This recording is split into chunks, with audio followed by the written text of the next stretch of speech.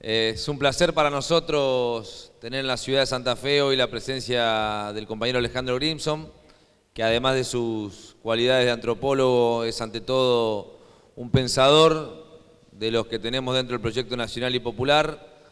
Eh, tuve la suerte y la oportunidad de conocerlo personalmente eh, durante fines del 2017 en Buenos Aires a partir de la convocatoria que hizo el actual presidente electo Alberto Fernández a la convocatoria del Grupo Callao. Y la verdad que Alejandro, Ana Castellani y algunas compañeras y compañeros más le fueron dando formato a ese grupo que de alguna u otra manera también fue uno de los lugares en donde Alberto empezó a trabajar, no por su candidatura a presidente, sino fundamentalmente por la idea de recomponer un espacio que pudiera pensar la Argentina del 2019, la Argentina del 2020 y la Argentina que venía en estos tiempos que corren.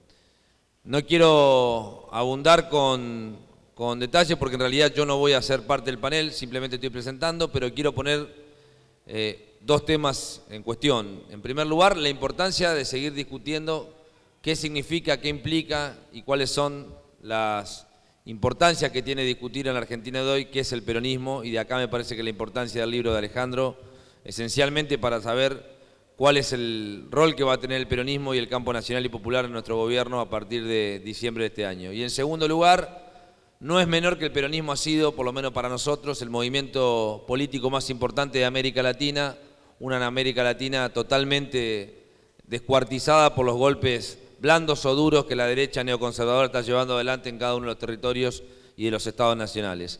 Está claro que a partir de diciembre el rol de la Argentina y el rol del peronismo va a ser fundamental para que América Latina retome un papel que está perdiendo en el concierto de los pueblos y para que conjuntamente, posible hoy, posiblemente más con México, por lo menos para entrar, que con Brasil, sean dos faros de luz que permitan a los pueblos latinoamericanos encontrar definitivamente un camino hacia la emancipación y a la unidad latinoamericana. Alejandro, muchísimas gracias por venir. A Roberto Zuckerman, que es un compañero concejal de la ciudad de Rosario, compañero nuestro de militancia de la Corriente Nacional de la Militancia, y a Roberto Mirabella, que es, bueno, diputado conmigo y felizmente para todos nosotros, senador nacional a partir del 10 de diciembre de este año, porque Omar Perotti va a asumir como gobernador de la provincia de Santa Fe. Muchísimas gracias a todos por venir, los dejo con ellos que vayan a prestar el libro. Bueno, también muy, muy breve. Eh, buenas tardes a todas y a todos, un placer estar acá. Eh, no se asusten, vieron muchas veces se dice que alguien va a ser breve y lo anuncia y después no lo es. Voy a tratar de cumplir. Eh, bueno, es un, es un, placer realmente estar acá en, esta, en esta feria del libro nacional y popular que, realizan desde hace varios años eh, con, con, tanto éxito. Es la, la, verdad que por suerte es la primera vez, esta vez por, por suerte pude venir, es la primera vez que, que pude estar presente y encima, bueno, poder participar, acompañar eh, a Alejandro en la, presentación del libro. Eh, lo cierto es que tuve la, fortuna también de, hace unos meses atrás eh, poder presentar el, libro, también con Lucila de Ponti, que en este caso no, pudo venir, en, la ciudad de Rosario. Y, y fue una experiencia absolutamente enriquecedora. Y, es tan rico el libro, digamos, y, está tan bueno que, lo puedan leer, eh, porque indudablemente es un libro que eh, tiene un contexto histórico, digamos, y un recorrido sobre distintos momentos también, sobre la historia del peronismo distintas situaciones, y análisis sobre eso, pero que indudablemente no puede dejar de, de leerse bajo digamos, el contexto que va cambiando permanentemente. Es decir, recién decía, decía Kiko, ¿no? Eh, él, vos estabas hablando, Kiko, 2017. Bueno, hace muy pocos meses, no sé, seis meses habrá sido, ponele, la presentación del libro en Rosario. Estábamos en, plena campaña electoral y, claramente en ese momento no, teníamos todavía definiciones sobre lo nacional, ¿no? Eh, en ese momento no nos imaginábamos que íbamos a tener la posibilidad ni siquiera de ganar la provincia con Omar, y tampoco mucho menos cómo se iba a resolver el enigma de eh, qué iba a ser Cristina y quién iba, cómo iba a ser la fórmula o cómo íbamos a, tratar de, agruparnos. Lo cierto es que nosotros humildemente planteábamos que lo que estábamos haciendo en la provincia de Santa Fe era un ejemplo para lo nacional, porque estaba planteado una interna y estaba planteado distintos sectores, pero eran realmente un, frente con, 14 partidos, ¿no? Y era un ejemplo para nosotros que queríamos dar eh, a, nivel, a nivel nacional, porque entendíamos que justamente era con todos, ¿no? Eh, bueno, finalmente sabemos la decisión de Cristina, sabemos el resultado electoral y tenemos absolutamente en claro eh, la responsabilidad que tenemos de acá en adelante.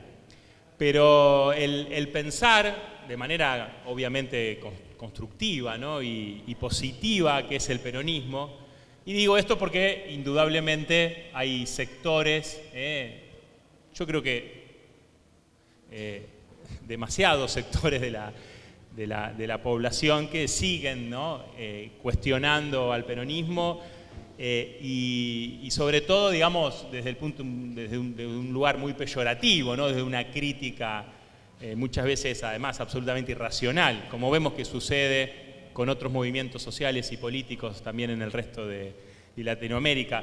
Yo recién escuchaba al compañero que hablaba en un panel anterior, que es español, ¿eh? que decía, lamentablemente no tenemos, no tenemos peronismo en España, decía, ¿no? y, cuando uno, y cuando uno ve eh, cómo, digamos, si uno ha tenido la posibilidad de recorrer Latinoamérica, distintos países de Latinoamérica, uno siempre tiene esa tentación de decir, por acá no pasó el peronismo, ¿no? Indudablemente por ese grado de desigualdad tan marcado que uno, que uno encuentra en muchísimos lugares. Por lo tanto, ahí eh, hay una, hay una idea que uno siempre quiere dejar sobre, sobre el peronismo como, como, un ideario de justicia social y, de igualdad. Pero que creo que también, y en esta coyuntura que sigue, creo, enriqueciendo para que Alejandro siga escribiendo, creo que, eh, lo, veía Casulo, lo estaba diciendo últimamente, digamos, en, algunas, en algunas cosas que escribió, eh, María Casulo, digo, eh, en torno a que tuvimos una, digamos, una situación institucional y electoral que a nosotros nos permitió eh, que este país no estalle y que pueda canalizar todo ese disgusto, digamos, toda esa bronca en el peronismo, ¿no? Cosa que quizás, por ejemplo, en Chile, no está pasando, ¿no? Digo, la gente se moviliza, genera su crítica, Ahora, ¿quién canaliza eso?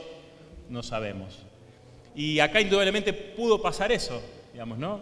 Y pudo pasar eso, creo que por una virtud del peronismo que fue la de poder unirse y de poder generar esa alternativa electoral, ¿eh? Eh, donde la población dijo, eh, esto está mal, y la opción electoral es esta.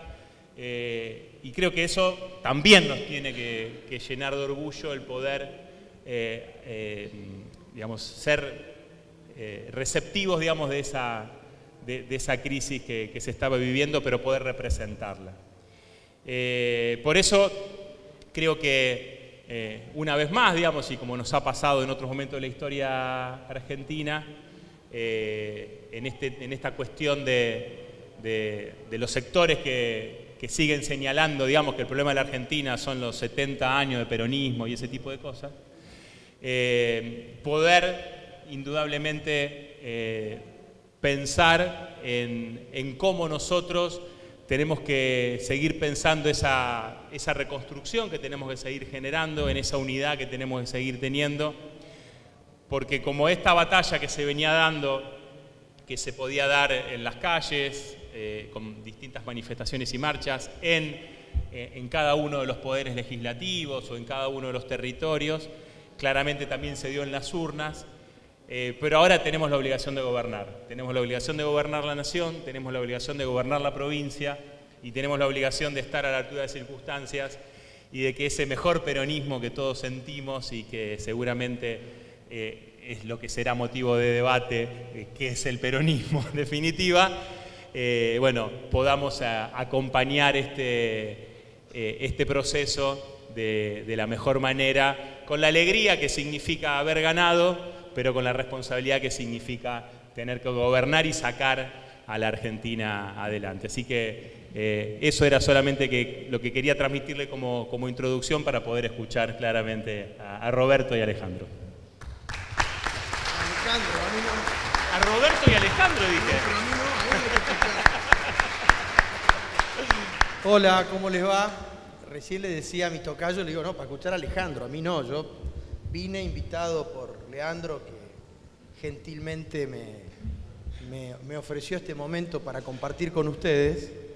Y, y para mí era una vergüenza estar presentándolo a Grimson, al cual yo vengo leyendo hace varios años, lo descubrí leyendo, no me acuerdo si en la revista Anfibia en cuál escribías, y tuve la oportunidad de conocerlo personalmente en el 2016 en mi ciudad, en Rafaela, que lo, llevamos, lo llevó la municipalidad a la Feria del Libro.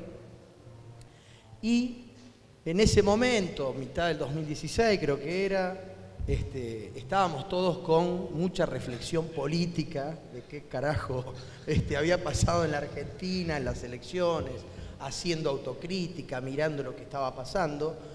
Y él dijo algo que este, me quedó grabado y nos quedó grabado al grupo de personas que estábamos ahí presentes, que dijo, tenemos que hacer un esfuerzo por comprender aquello que no compartimos. Y para mí fue una reflexión tremenda, porque en general estamos muy mal predispuestos a aquello que no compartimos.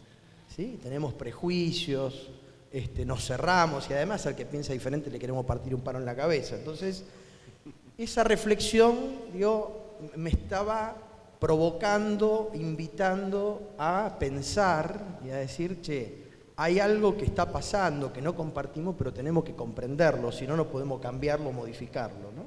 Entonces, lo admiro mucho, Alejandro, a pesar de que no, no tengo una relación personal con él, lo vi pocas veces este, personalmente, pero lo descubrí una vez leyendo este tipo de, revista y tuve la oportunidad de participar con él y bueno, recién lo saludaba porque raro en los piamonteses Rafaela lo invitamos a comer un asado ese día y no vino. Entonces está arrepentido. bueno, a ver, este, yo soy de una generación que este, se volcó a la militancia política con la apertura democrática del 83, ¿sí? con la primavera alfonsinista, podríamos decir así, con un grupo de amigos vinimos a estudiar en el año 84, 85 a esta ciudad, a Santa Fe, y un montón de cosas que estaban pasando en el país y que habían pasado, nos preguntábamos qué carajo pasó en este país, además de preguntarnos qué es el peronismo. Vengo de una familia que además no tiene participación ni nunca tuvo participación en la política. Así que esta reflexión del título del libro de, Alejandro es una reflexión muy buena porque además creo que plantea nuevas miradas, nuevos enfoques. No, no soy académico, pero posiblemente sean nuevas categorías para repensar este, al peronismo. En realidad, digamos, como dice un filósofo, creo que Feynman, creo que algún filósofo dice que el que se considera y autoproclama como peronista, de nadie lo podemos cuestionar. ¿Sí? Si, si alguien se dice peronista, es peronista y nadie tiene derecho a cuestionarlo este, lo que es. Pero, claro, pero la verdad es que en nombre del peronismo han pasado también un montón de cosas y hubo de los dirigentes más variados que se han autoproclamados peronistas. Pero la verdad es que desde el nacimiento del movimiento político hace 75 años, hubo dos o tres o, varios legados, digamos, que Alejandro podría este, analizar más que yo, pero me parece que hay dos o tres claves y uno ha sido la posibilidad que dio el peronismo a darle oportunidades a los más débiles este, que solo tenían los más fuertes. Y otro me parece que fue un legado impresionante que es que no se ve quizás en otros lados de América Latina, la organización sindical. Digamos, de hecho estamos acá en una sede de un sindicato. La organización sindical fue creo que uno de los grandes legados que dio el peronismo, digo, más allá de este, el reconocimiento de derechos o este, el estado de bienestar o el desarrollo del sector industrial y el empleo, digo, o el ascenso social, o la universidad gratuita, qué sé yo, por poner un montón de cosas. También los que tuvimos oportunidad de salir del país, esta pregunta en la política flota, ¿qué es el peronismo? Digamos, no sé quién es el amigo español, pero cuando uno cuenta lo que ha pasado este, el peronismo en, su corta historia y lo que ha sufrido, hay cosas inentendibles, ¿sí? Porque, digamos, bombardear la Plaza de Mayo para tumbar a un presidente y matar más de 300 civiles es una cosa fulera, digo, grosa, digamos, serían dos cromañón, ¿no? Esto es muy fuerte lo que ha pasado con el peronismo. Pero además, no solamente eso, sino que además este, fusilaron personas este, en basurales. el presidente hizo un decreto para prohibir al peronismo, sus símbolos, su terminología. Se robaron el cadáver de Vita. Esto es una cosa este, este, monumental, una tragedia, digamos, una, este, ese también de entender al antiperonismo lo que ha hecho. Robarse el cadáver de una mujer y que estuvo además oculto durante tanto tiempo. Además, obviamente, de la proscripción, del exilio de, de Perón y obviamente luego la cárcel, la muerte, la tortura, ¿sí? las compañeras que tenían sus bebés en la cárcel y se los robaban y las mataban. Digo, el peronismo sufrió este, en toda su historia, además de ser el protagonista de una gran transformación social, ha sufrido en carne propia cosas que no ha sufrido muchos movimientos políticos ¿sí? en su historia y diría en muchos lugares este, de América Latina, que es lo que, es lo que más conozco. Pero también digo, y yo me hago cargo sin beneficio de inventario, este, que en nombre del peronismo este, desguazamos al Estado y después lo reinventamos. Y también en algún momento, y con la crisis este, de hace 20 años atrás, llegamos a creer que el debate político estaba muerto, que estaba enterrado y que el peronismo tenía certificado de función. Y si hay este, alguien que devolvió el debate político y que además este, devolvió la autoestima al peronismo y la razón de ser fue Néstor Kirchner. Y con él recuperamos este, banderas históricas del peronismo, pero además recuperamos el debate político, recuperamos la razón de ser, recuperamos una gran cantidad de cosas. Con lo cual, y hasta aquí llego, este, a mí me parece interesantísimo poder seguir pensando, reflexionando, debatiendo, discutiendo. De hecho, como decía Roberto, nosotros pudimos, construir, que no fue una construcción de estos meses, fue una construcción que viene de hace varios años, de distintos espacios del peronismo, que tenemos distintas historias, distintas experiencias, que venimos también este, de distintas regiones, construir esa unidad en la diversidad que hablamos y un proyecto para la provincia de Santa Fe. Y veremos en la acción qué es el peronismo gobernando en la provincia de Santa Fe. Así que halagado y agradecido primero a Leandro de invitarme a este panel, le voy a pagar un asado obviamente, y a Alejandro, en la cual este, agradezco tener esta oportunidad y y ojalá podamos comer el asado y bueno, mi admiración hacia él, que lo vengo leyendo más de lo que él sabe que lo leo. Así que muchas gracias a todos.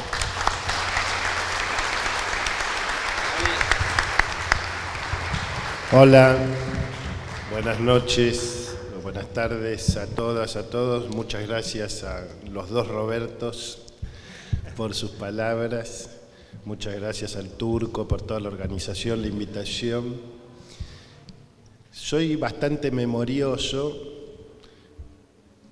de fechas y especialmente de mayo de 2019, hay fechas que no me puedo olvidar.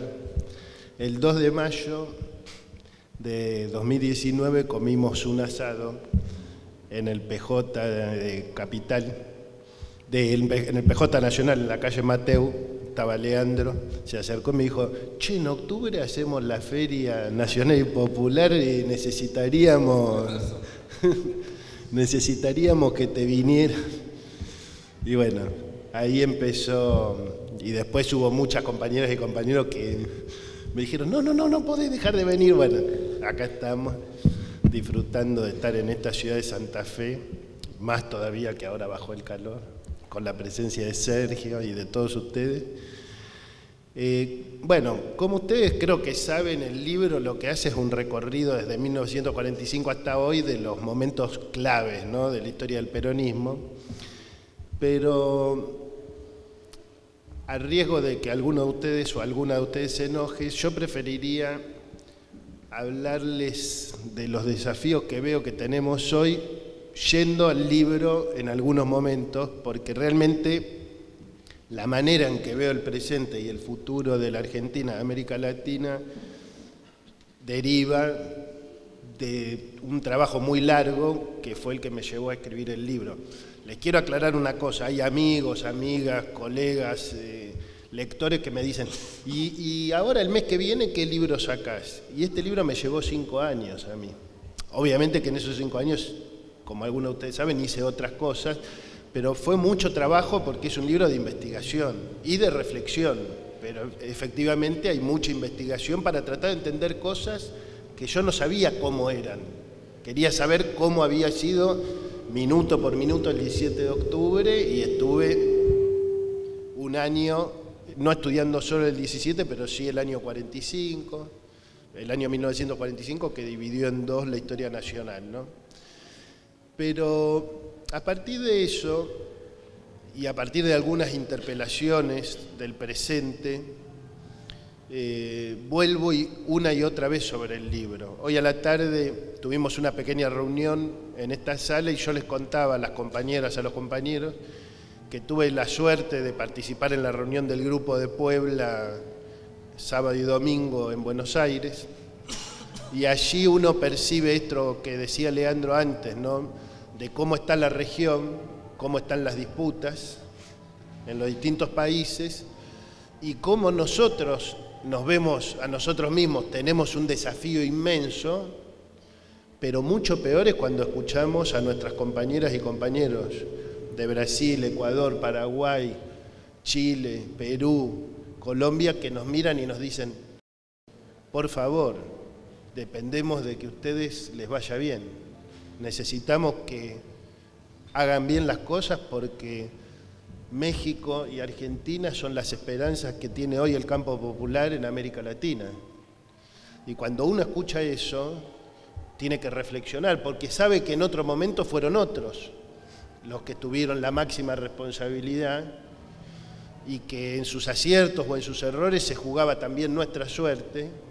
Y hoy Creo que tenemos el deber de aprender de todos nuestros aciertos, de todos nuestros errores, porque tenemos un desafío y tenemos la obligación ética, política, de estar a la altura de las circunstancias. Y ahí entonces vuelvo sobre cosas que aprendí estudiando y escribiendo el libro, que para mí dicen mucho de de dónde estamos y cómo tenemos que pensarnos en algunas cuestiones cruciales. En primer lugar, hay algo sobre lo que el libro insiste, sobre el 45, sobre el 73, sobre el 2003, sobre el 2015 y sobre el 2019, que es el peronismo siempre, siempre, siempre es heterogéneo. No hay homogeneidad del peronismo, nunca hubo uniformidad del peronismo. En el 45, que es cuando la gente tiene una imagen más uniforme, como diciendo, no, el peronismo era Perón. En el 45 estaba el Partido Laborista, la Junta Renovadora Radical y los conservadurismos populares de provincia, y se ganó la elección con el 54% contra el 46%. Y el 46% lo dirigía el embajador de Estados Unidos, o el ex embajador en ese momento de Estados Unidos, pero en una ofensiva brutal. No estaba escrito que Perón ganaba, ¿eh? Si a alguno se le ocurrió decir, no, no tengo ganas, voy a sacar de esa unidad del 46 a estos porque no me gustan, quizá eh, ganaba tamborín y mosca. Y quiero decir, el peronismo ahí no es que, no, no es que era homogéneo, sino que esa heterogeneidad encontró una síntesis, que fue Perón, y que después fue Perón y Eva Perón. O sea, Perón no era la homogeneidad del peronismo, Perón era la síntesis de la diversidad del peronismo. Y eso, que se volvió a intentar muchos años después, después de 18 años de proscripción, ¿no? En ese momento, en 1973, Perón vuelve, era un mito. Hacía 18 años que había pueblo, pueblo y pueblo peleando para Perón vuelve. Y Perón volvió. Y el peronismo era muy heterogéneo, mucho más que en el 45. Y era mucho más difícil generar una síntesis. Y con el fallecimiento de Perón se perdió la posibilidad de la síntesis y para el peronismo vino una catástrofe y para la Argentina vino una catástrofe. Cuando el peronismo no construye síntesis, la Argentina retrocede. ¿Por qué? Porque yo, yo juego con la pregunta ¿qué es el peronismo? y digo, bueno, no vamos a definirlo fuera de contexto, porque el peronismo en el 45 es una cosa, en el peronismo hoy es otra. Pero el peronismo en el 45 y en el 46 ¿Qué fue? Fue la respuesta al hecho de que las élites económicas argentinas jamás tuvieron un proyecto de desarrollo que incluyera a las trabajadoras y trabajadores argentinos. Por eso fracasaron, por eso quisieron, lo, lo obligaron a renunciar a Perón, por eso lo metieron preso, y cuando lo metieron preso, las obreras y los obreros dijeron, están metiendo presos a nuestros derechos. Y se corrió la voz de que lo iban a fusilar. Y dijeron, van a fusilar a nuestros derechos. Y la gran tradición antifascista que había en la Argentina, anarquista, socialista, comunista, la gran tragedia del 45 es que esa tradición muy rica en lucha política, cuando veía a Perón veía a Mussolini y los obreros cuando veían a Perón veían a sus derechos. Entonces se produjo una decisión muy trágica para la historia política nacional, que llevó mucho tiempo empezar a reparar y todavía no se terminó de reparar, porque como, vos como decía Roberto, todavía hay mucha gente que cree que el peronismo fue fascista cuando es, es realmente ridículo, digamos. Después les puedo recomendar, si quieren un libro que muestra que Perón no tenía nada que ver con el nazismo, hay un historiador israelí, judío, de primer nivel, que es el vicerrector de la Universidad de Tel Aviv, que tiene un libro que se llama Los muchachos peronistas judíos, que es extraordinario, destruye todos los mitos sobre esa estupidez. Pero hay, hay que entender algo que es que esa estupidez vive, está viva todavía.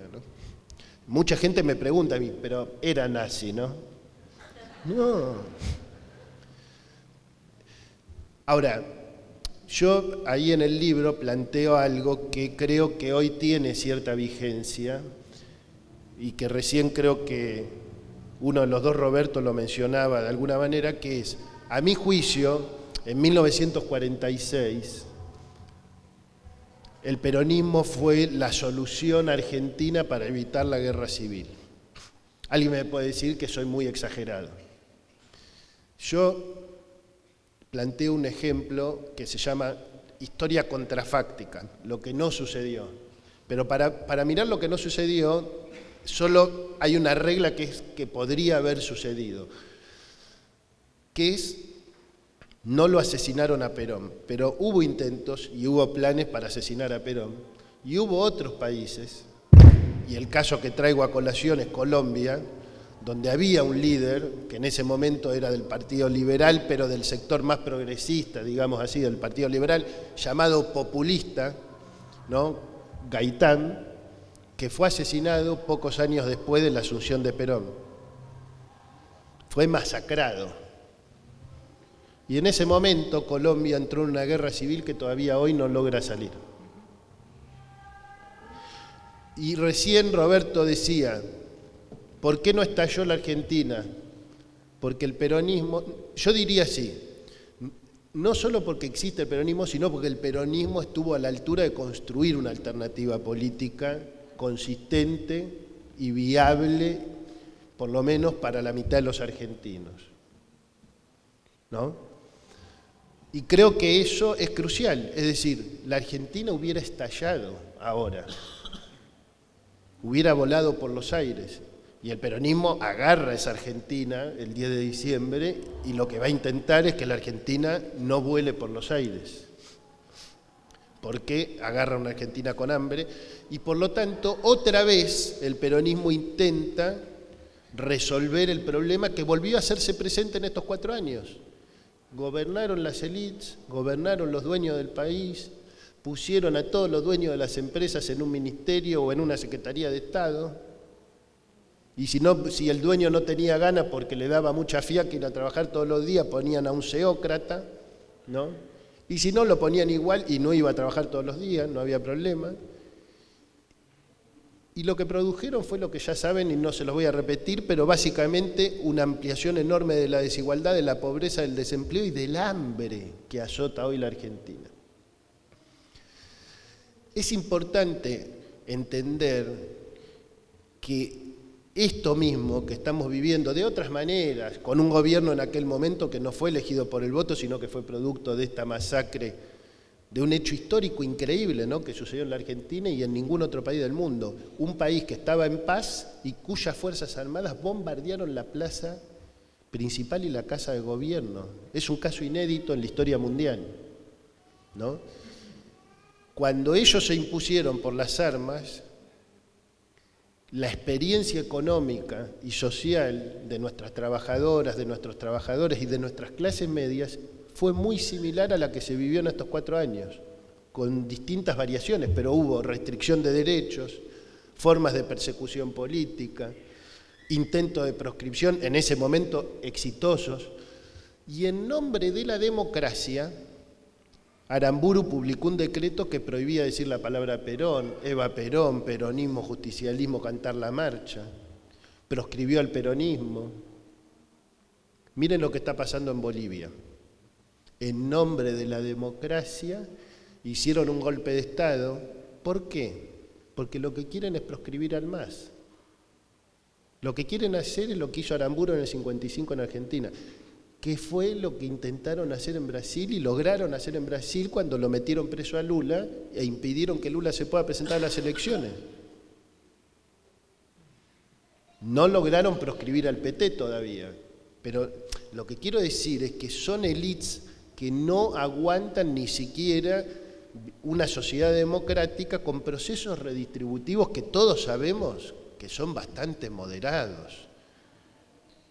Logramos los, dirigentes, los militantes, logramos sacar miles y millones de personas de la pobreza, de la indigencia en toda América Latina, pero de todas maneras los intereses de los bancos, los intereses de los grandes capitales, nadie se vio afectado, ellos no sufrieron. Lo que logramos fue que saliera gente de la pobreza sin que ellos sufran. Pero evidentemente eso tampoco es soportable.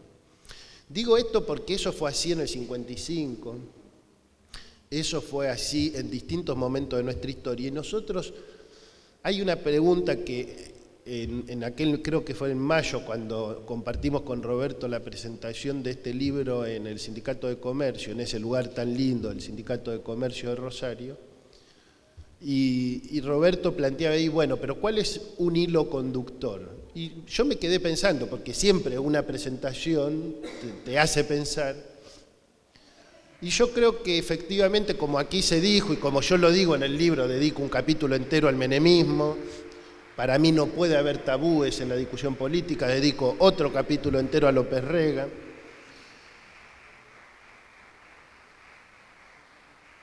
Todo el mundo puede decir, bueno, las tres banderas históricas del peronismo no pueden ser el lindo conductor porque existió el menemismo. Yo creo que eso es empíricamente es así, históricamente es así, pero que también podemos hacer una contextualización que creo honestamente que no es forzada, que es la siguiente. El lunes lo escuchaba nuestro presidente electo, Alberto Fernández, contando cómo fue cooptado el PRI en México, ¿no es cierto?, que era un partido que tenía, digamos, sobre todo en su impronta cardenista, digamos, en toda una impronta muy vinculada, como, digamos, tan vinculada como Vargas o como otras experiencias latinoamericanas. ¿no?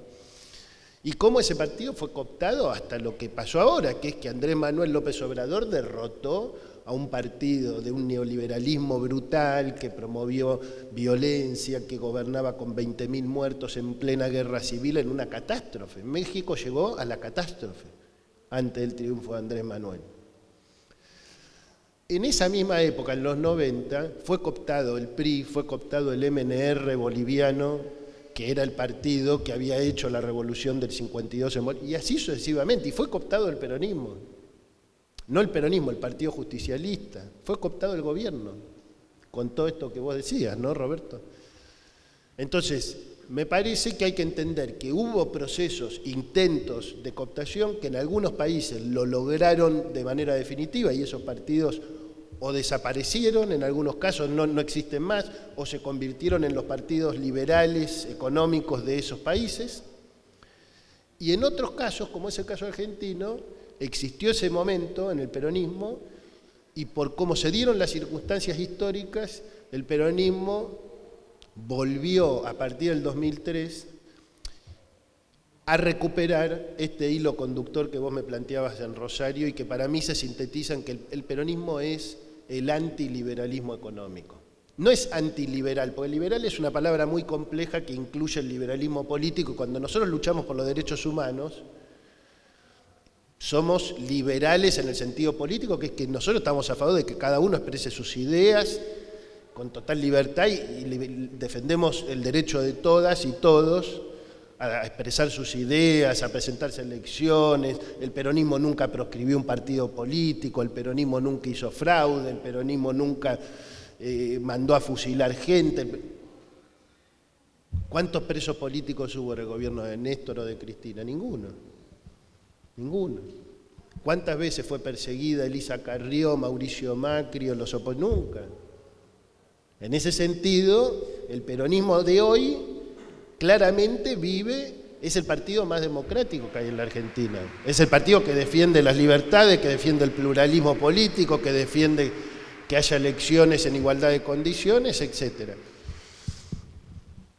Es antiliberal en términos económicos, porque está en contra de que el mercado decida nuestras vidas, de que no haya una regulación pública, que los capitales entren y salgan saqueando países, saqueando a nuestro pueblo, y por un montón de razones que, podríamos desarrollar. Pero yo creo que con la excepción del 90, o la excepción si se quiere desde el Rodrigazo también, se pueden, se pueden discutir momentos, pero me parece que lo más relevante, porque fue una década entera, son los años 90, donde digo que no fue cooptado todo el peronismo, porque yo lo explico en el libro. Por un lado, había militantes dentro del Partido Justicialista que estaban en contra de Menem, y eso está documentado por, por, un politólogo muy importante de los Estados Unidos, y también, como todo el mundo sabe, la fórmula presidencial que se presentó contra Menem en el 95 era una fórmula peronista, la que salió segunda en las elecciones, Bordón Álvarez. ¿no?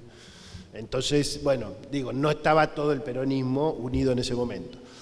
Ahora, volviendo a la cuestión de la heterogeneidad y la síntesis, si uno se sitúa en el año 2003, yo le dedico un capítulo a, a ese momento histórico, todos sabemos que hubo tres candidatos peronistas en las elecciones, todos sabemos que Néstor asumió con el 22 y poco por ciento de los votos, ¿Por qué Néstor asumió con el 22 y se fue con 80% de popularidad? Porque, eh, porque lo que logró Néstor a partir de 2003 fue construir una síntesis de las heterogeneidades del peronismo. Y esa síntesis fue la que le dio consistencia al proyecto político que se desplegó en esos 12 años, con aciertos, con errores, si ustedes leen el último capítulo de mi libro, además, todos los que me conocen saben que desde mucho antes de 2015 yo planteaba críticas constructivas porque veía que si hacíamos ciertas cosas podíamos ir a la derrota. Y ahora después me voy a referir a eso. Me parece, respecto de esta cuestión de la heterogeneidad, que la otra lección es que después del 54% del 2011, que es un 54% muy heterogéneo como cualquier 54% o como cualquier 48%, para que nadie se equivoque, no es una cuestión de si es 48, también el 40% de Macri es muy heterogéneo. Ah, después vuelvo sobre eso. El 54% del 2011 estaba Massa, estaba Moyano, estaba, estaba todo el mundo en ese 54%. El error fue cuando se intentó o se soñó o se creyó que había alguna posibilidad de homogeneizar el peronismo, que el peronismo podía ser una sola cosa. Y eso empezó a generar procesos de decisión que nos costaron varios años. Y a partir de que eso fue repensado, se emprendió este camino de decir, no, no podemos estar separados cada uno en su homogeneidad, ¿por qué? Porque todos esos peronismos y todo ese campo popular no peronista que está dentro del frente de todos, asumió que tiene un otro, un adversario, que es la política de Macri. Y que cuando la patria está en riesgo, y quiero decirles, va a estar en riesgo en los próximos 50 años para el caso, o sea, nadie se apresure a creer que la patria sale de riesgo, cuando la patria está en riesgo, no se puede poner por delante las vocaciones individuales o las vocaciones de grupo o de sector, porque primero está la patria, después está el movimiento. Entonces, primero la patria es eso, es, no importa, pensamos distinto en un montón de cosas, tenemos posiciones diferentes, tenemos matices, pero el peronismo siempre fue heterogéneo, el campo popular siempre va a ser heterogéneo, en Argentina y en América Latina. El desafío es entender quién es el otro, cuáles son las políticas de ese otro. Y entender que ese otro, el otro que apoyó el golpe del 55, que fue masivo, el apoyo civil, fue masivo, no fue un golpe contra todos, fue un golpe contra el peronismo, pero hubo mucho apoyo civil. Y hubo un 40% que votó a Macri después de estos cuatro años.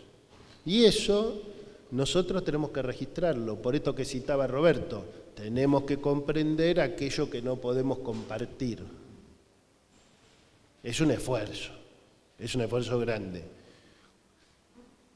Yo al principio no puedo, les quiero admitir que me pasa lo mismo, o sea, soy un ser humano, etcétera, digo, no, 40%, bueno.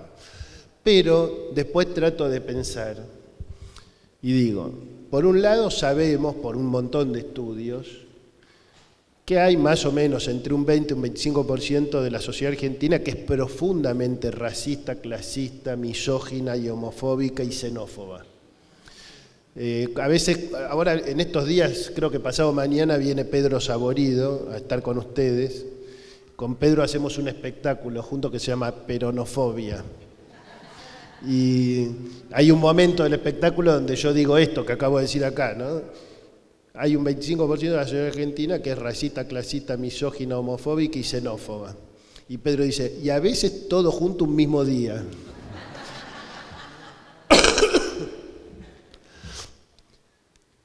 Pero después ese 40% tiene otra parte, que no es eso.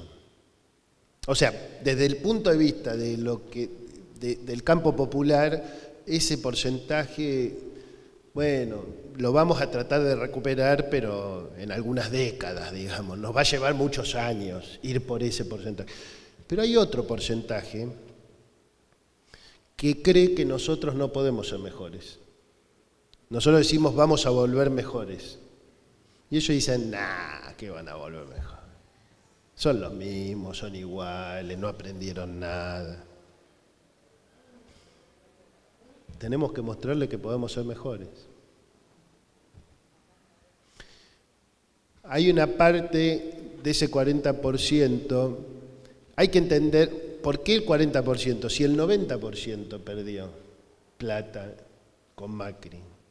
Entendamos que la gente no vota solo con el bolsillo, por favor. Porque cuando nosotros decimos bolsillo, también tenemos que entender que bolsillo es dignidad. O sea, la gente que vota porque tiene hambre,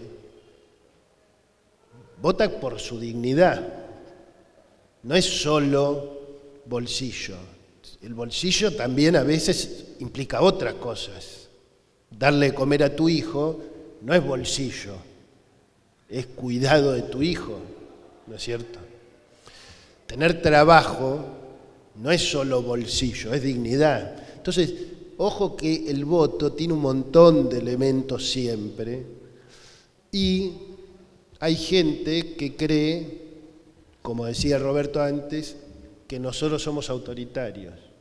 Y, y, compraron cosas que se vendieron por los medios de comunicación. Las compraron, las creen. Nosotros tenemos que dar una lucha. Hoy, en estos días, hemos visto que ese 40% no es homogéneo porque la reacción frente al golpe de Estado en Bolivia no fue uniforme en los dirigentes de ese 40%.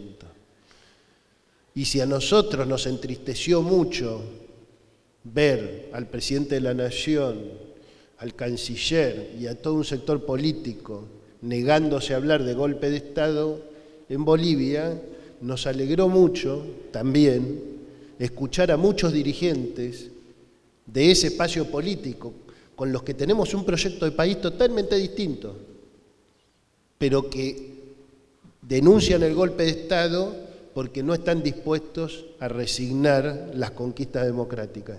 Y con ello estamos de Y eso es lo que queremos nosotros. Nosotros queremos, quizá no nos podemos poner de acuerdo en todo, pero podamos ponernos de acuerdo en cuestiones fundamentales, la democracia, las elecciones libres, no puede haber proscripción, no puede haber persecución política.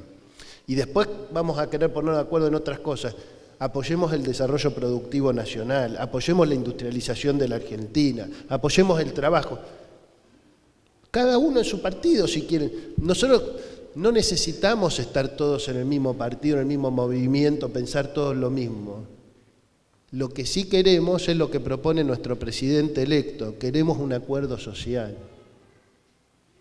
Ojalá todos puedan sumarse a ese acuerdo social que garantice la dignidad de los más débiles, que garantice el trabajo, que garantice que terminemos con el hambre rápidamente, que reduzcamos la pobreza. Querer un acuerdo social, querer el diálogo social, querer un nuevo contrato social de derechos y obligaciones para todos los argentinos y las argentinas, que son ambiciones distintas. Uno es un acuerdo urgente, otro es poder repensar el país a más largo plazo. Son todas cuestiones que tienen que ver con superar la grieta. ¿Por qué vamos a superar la grieta? Porque aprendimos de estos 74 años de historia. Ellos nos quieren meter una división en el 50% del país. Nosotros vamos a desplazar esa frontera por lo menos hasta el 75%. No porque vayamos a tener el 75% de los votos, pero porque queremos dar una lucha que es económica, es política y es cultural.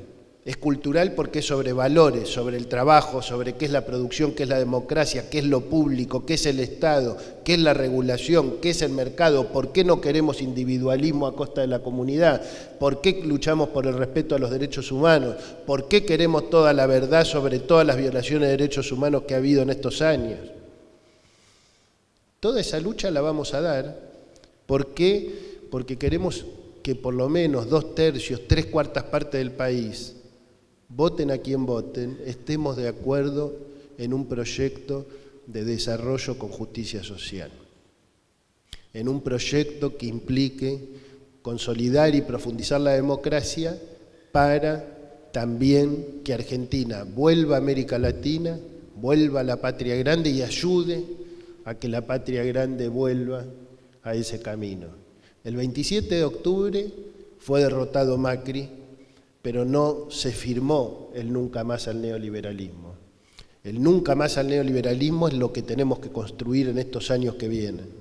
El nunca más al neoliberalismo es una construcción que requiere encender la economía, requiere de la construcción política, requiere de la construcción de nuevos significados culturales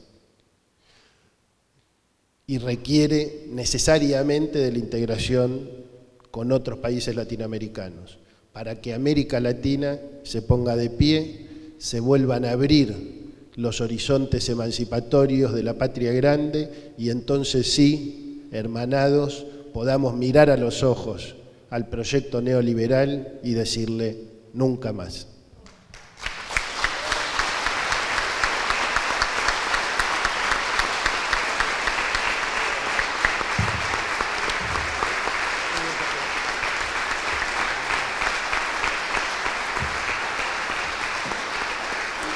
Yo te quería hacer una consulta. En tu libro eh, normalmente eh, estableces una línea dentro de lo que vendría a ser el ascenso, consolidación y declive de los distintos periodos del peronismo en base a su capacidad para construir o generar eh, hegemonía. Dentro de lo que vendría a ser la heterogeneidad constitutiva del actual, no del actual gobierno, sino del futuro gobierno, del gobierno electo. ¿Cuáles son los principales desafíos que vos considerás que a los cuales se enfrenta para generar esta construcción de hegemonía y cuáles son los peligros justamente que, a los cuales podría enfrentarse dentro de lo que vendría a ser esta concepción. Bien, bueno, algunas de las cuestiones las mencioné, pero aprovecho para mencionar una que me parece decisiva, que es la cuestión de las clases medias, que creo que es un problema que venimos arrastrando históricamente y que también está presente en el libro. ¿no? ¿Por qué la cuestión de las clases medias? En primer lugar, como ustedes saben, hoy más o menos el 70-80% de los argentinos y argentinas se autopercibe como parte de la clase media. Entonces ahí tenemos dos, dos formas de interpretar eso. Una interpretación eh, es, bueno, son una manga de eh, gente que no entiende, eh, y se autofalsifica una identidad eh, porque están equivocados. Es falsa conciencia. Hay otra forma de entender eso, que es que la sociedad habla un lenguaje que no es el lenguaje de la teoría política, que no es el lenguaje de la teoría sociológica, que es el lenguaje de la sociedad. Y si nosotros queremos hacer política y queremos construir hegemonía, tenemos que hablar el lenguaje de la sociedad, no el que nosotros tengamos ganas. Porque hay toda una tradición que cree que la clase media son solamente los profesionales liberales, los pequeños comerciantes, los pequeños productores. Entonces dice, no, es el 10% de la sociedad. Cualquier otro que crea que es de clase media es un gilún. Y la verdad es que no es así. En el lenguaje de la sociedad ser de clase media quiere decir, clase media, clase media baja, quiere decir que no son el último orejón del tarro, quiere decir que no están totalmente excluidos, quiere decir que no están muertos de hambre, quiere decir que ven que hay alguien abajo de ellos en la estructura social. Y si nosotros pensamos sobre quienes están en esta sala, que yo me imagino que muchas y muchos de los que están en esta sala, o la gran mayoría, son trabajadoras, son trabajadores, y también se consideran de clase media en un sentido. Como la mayoría de las, muchos trabajadores y trabajadoras de la Argentina van al sindicato para apoyar la pelea paritaria, para hacer kit de colaboración, para ir a la huelga, a la marcha, para tocar el bombo, y después, cuando ganan la huelga, van al sindicato para ver qué les ofrecen de plan de turismo. Yo acabo de venir del Hotel de Ate, Veníamos con Sergio Maldonado, estábamos comentando extraordinario Hotel de Ate. Ya con llegar al Hotel de Ate me siento clase media. Pero muchas trabajadoras y trabajadores argentinos dicen, bueno, ¿qué hay en turismo? Quiero un plancito de 12 cuotas para llevar a los chicos a las cataratas. Llegan a las cataratas, miran la garganta del diablo y dicen, yo soy clase media. Y después vuelven tienen ajuste por inflación y dicen, yo soy trabajador, son las dos cosas. Pero nosotros tenemos una cabeza equivocada muchas veces que decimos, no, una persona es trabajador y si no es clase media, es una cosa o la otra, y son las dos cosas. Y ese es un problema muy típico del peronismo, ¿no? que es, ¿el peronismo qué es? ¿Es la comunidad organizada o es el hecho maldito del país burgués? Bueno, hagamos una discusión. No, son las dos cosas. ¿El peronismo qué es? ¿Trabajo, sacrificio o es fiesta? Las dos cosas, por eso la B, ¿viste? La B viene de ahí, son las dos cosas.